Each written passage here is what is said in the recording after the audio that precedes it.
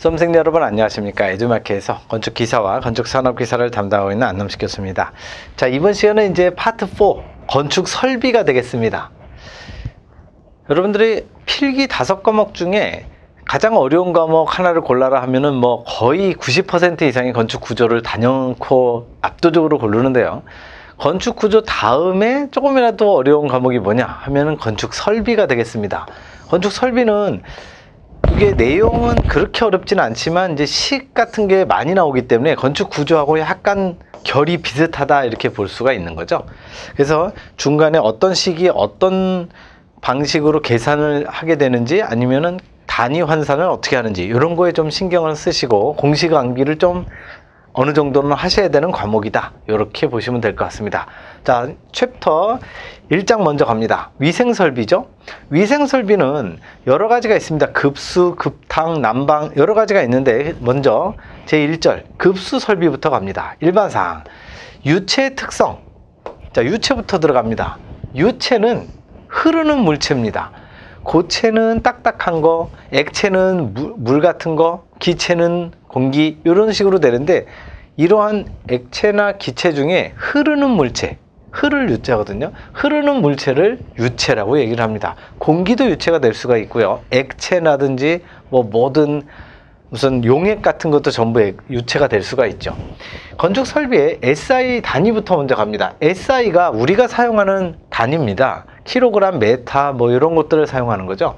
건축 설비에서 사용되는 주로 물리량을 SI 단위는 다음과 같다 해서 힘의 단위와 열량의 단위, 압력의 단위 여러 가지가 나오는데요. 이 중에서 필요한 것만 말씀을 드리겠습니다. 힘은요, 보통 킬로그램 F를 옛날에 사용했습니다. 2005년인가 6년까지만 사용했고, 그 다음부터는 전부 우리 건축 토목에서 전부 뉴턴으로 다 통일을 시켰습니다. 그래서 뉴턴이라는 게 질량 1kg의 물질, 물질에 가속도 1m/s 제곱이 작용할 때 힘, F 이퀄 MA로 표현하는 거죠.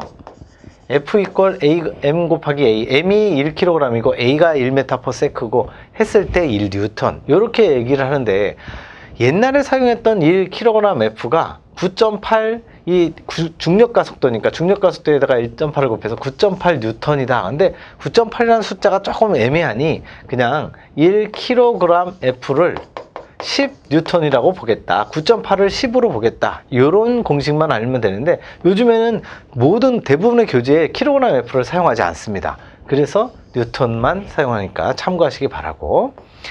열량의 단위는 칼로리를 얘기를 하는데요. 보통 열량이라는 건 1입니다. 1. 그래서 1g을 1도씩 올리는데 필요한 열량. 그래서 1줄 킬로 칼로리나 줄이나 같은 열량의 단위긴 한데요. 1뉴턴 곱하기 메타 이렇게 표시를 하는데 그렇게 많이 나오진 않습니다. 자 그리고 중요한 이제 압력의 단위입니다. 압력은 우리 설비에서는 굉장히 많이 쓰는 단위인데요.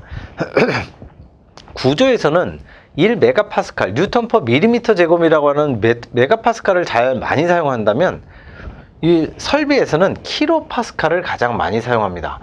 이 옛날에는 킬로그램 per 센치 제곱을 주로 사용했지만 이후에는 SI 단위, 이 파스칼을 사용하는데요. 파스칼이 보통 원래 파스칼의 정의는 뉴턴 per 메타 제곱입니다. 파스칼이라고 하는 유명한 과학자가 이렇게 뉴, 뉴턴이라는 걸 고안을 해서 뉴턴과 메타 제곱으로 나누게 되면 요거를 파스칼이라고 이 압력 또는 응력이라고 가정하자 라고 해서 파스칼이라는 이름을 여기다가 써준 거거든요. 1메가파스칼, 요게 바로 뉴턴 per 밀리미터 제곱이 구조에서 많이 쓰는 거고요. 우리 설비에서는 킬로파스칼을 많이 쓰게 됩니다. 킬로파스칼. 그래서 1kg per 센치 제곱이 100 킬로파스칼이다 라는 거 알아두시되 얘를 또 많이 사용 안 하니까 그냥 킬로파스칼만 많이 사용한다는 거죠. 이제 이 뒤에도 나오겠지만 밑에 요게 가장 많이 사용하는 식 중에 하나입니다. 근데 메가파스칼 거의 사용 안 한다고 그랬죠? 간혹 가다가 사용하기도 합니다. 설비에서도 메가파스칼이 예를 들어서 한 10개 정도면 하나 정도는 메가파스칼을 사용합니다만 메가파스칼보다는 킬로파스칼을 잘 알아두셔야 돼요. 그래서 압력은 10 H 킬로파스칼이다. 요렇게 꼭 기억해 두셔야 됩니다. 이 H는 하이트죠. 높이. 높이에다가 10, 10을 곱하면 킬로파스칼이 나온다라는 이 공식. 이 공식을 문제 풀이에 굉장히 많이 사용하게 됩니다.